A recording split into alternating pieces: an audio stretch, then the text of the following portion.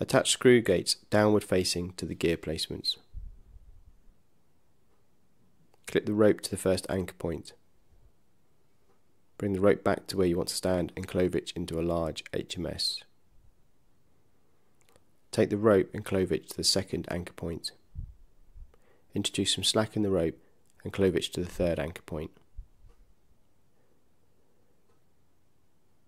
Bring it back to you and clove it into the same HMS.